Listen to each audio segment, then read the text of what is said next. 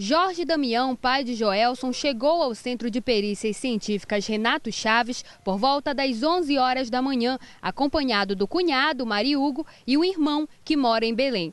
Visivelmente abalado, Jorge disse que não entende por que o filho foi assassinado tão brutalmente. Um choque, né? É isso que a gente está vivendo aí, essa, essa, essa situação, né? Não dá para entender, não dá para entender um negócio desse aí do jeito que meu filho era, não bebia, não fumava, era uma pessoa humilde, não discutia com ninguém. Não dá para entender. É uma coisa inexplicável.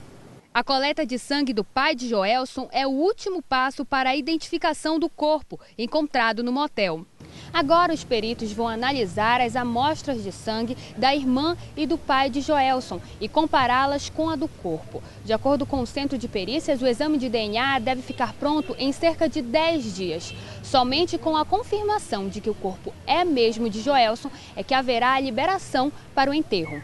Jorge não quis ver o corpo do filho morto. Não quero ver o corpo. Por quê?